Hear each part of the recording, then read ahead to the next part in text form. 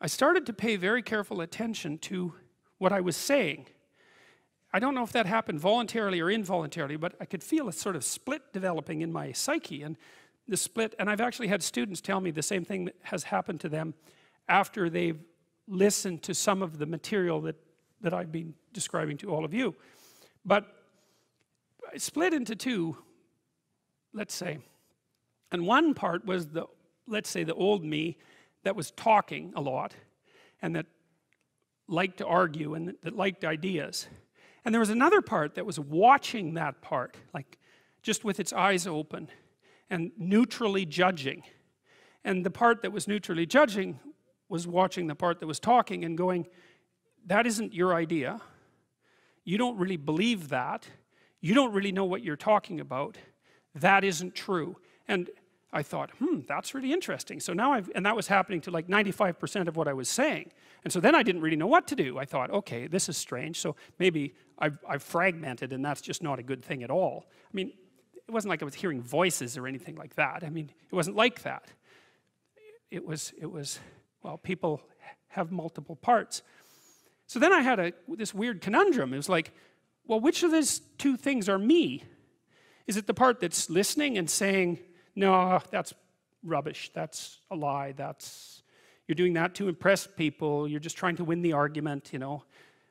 Was that me or was the part that was going about my normal verbal business me? And I didn't know, but I decided I would go with the critic. And then what I tried to do, what I learned to do, I think, was to stop saying things that made me weak. And that, that I mean, I'm still trying to do that because I'm always feeling when I talk whether or not the words that I'm saying are either making me align or making me come apart. And I think the alignment, I really do think the alignment is, is, I think alignment is the right way of conceptualizing it because I think if you say things that are as true as you can say them, let's say, then they come up, they come out of the depths inside of you. Because we don't know where thoughts come from. We don't know how far down into your substructure the thoughts emerge. We don't know what processes of physiological alignment are necessary for you to speak from the core of your being. We don't understand any of that. We don't even conceptualize that, but I believe that you can feel that. And I learned some of that from reading Carl Rogers, by the way, who's a great clinician, uh, because he talked about mental health in part as the coherence between the the, the, the, spiritual or the, or the abstract and the physical, that the two things were aligned.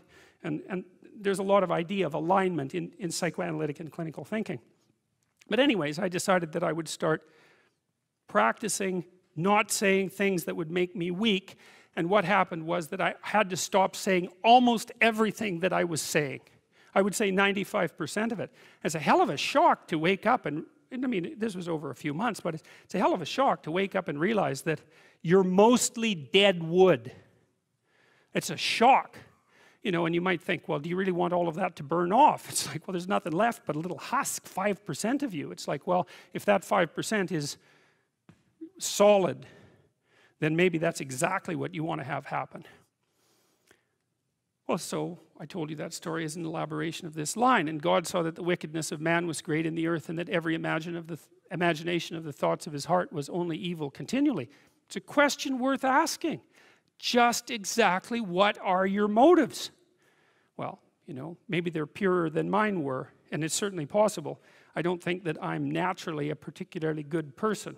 I think I have to work at it very, very hard. And I don't necessarily think that everyone is like that.